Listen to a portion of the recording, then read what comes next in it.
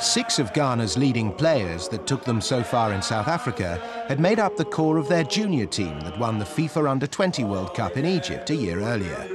The first for an African country.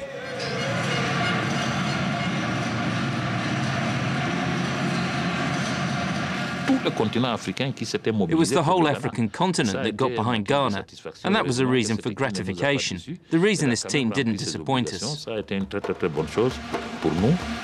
It's going to get the flick in, and Muslera, oh, cleared on the line, and cleared on the line a second. FIFA recognizes only one goalkeeper at a time.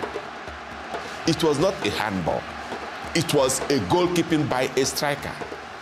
It is appalling. It is something we Africans will never want to remember again.